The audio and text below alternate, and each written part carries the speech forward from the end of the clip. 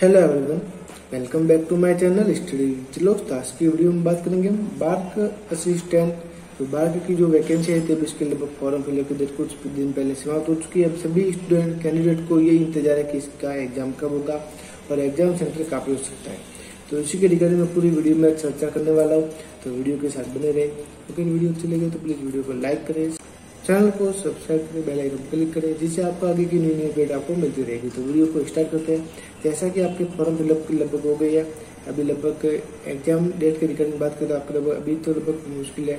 जैसे कि यानी कि अगस्त में होना मुश्किल है, सितंबर में होना भी मुश्किल है, क्योंकि सितंबर में आपके लगभग रेलवे डी ग्रुप के एग्ज़ाम आपके चलने वाले हैं, क्योंकि ये बहुत ही काफ़ी लंबाई टाइम के बाद डेट आई है तो लगभग सितंबर में भी लगभग आपके एग्ज़ाम होने के चांस बिल्कुल भी नहीं है। और मान सकते हैं आपका लगभग एग्ज़ाम अक्टूबर के लास्ट वीक में लास्ट वीक में आपके एग्ज़ाम हो सकते हैं, क्योंकि पाँच अक्टूबर तक आपके डी ग्रुप के एग्ज़ाम चलने वाले हैं।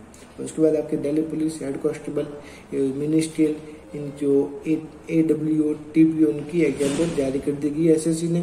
तो उसके बाद आपके लगभग अक्टूबर के लास्ट वीक में आपके एग्ज़ाम होने के चांस बन सकते हैं।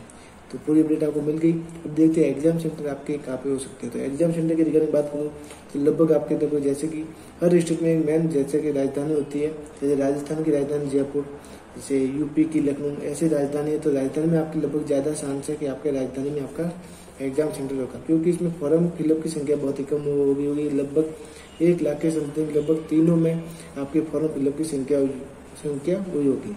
जैसे कि स्टेनोग्राफर ड्राइवर और वर्क असिस्टेंट तो लगभग एक लाख संख्या इसमें कैंडिडेट ने फॉर्म भरे होंगे, इससे ज़्यादा लगभग नहीं भरेंगे। और उसमें अटेंडेंस आपकी लगभग कम ही रहेगी, क्योंकि लगभग चालीस से पचास हज़ार स्टूडेंट एग्ज़ाम देने जाएँगे।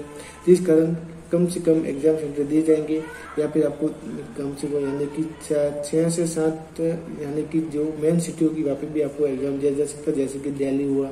जैसे कुछ मेन सिटी भी आपके एग्ज़ाम दिए जा सकते हैं। तो यही अपडेट थी पूरी अगर जानकारी। अच्छी लगी है तो प्लीज़ वीडियो को लाइक करें शेयर करें चैनल को सब्सक्राइब करें बेल आइकन क्लिक करें, जिससे आपको आगे की न्यू न्यू अपडेट आपको मिलती रहेगी। आगे की वीडियो में जल्दी मिलेंगे। जय हिंद, जय भारत।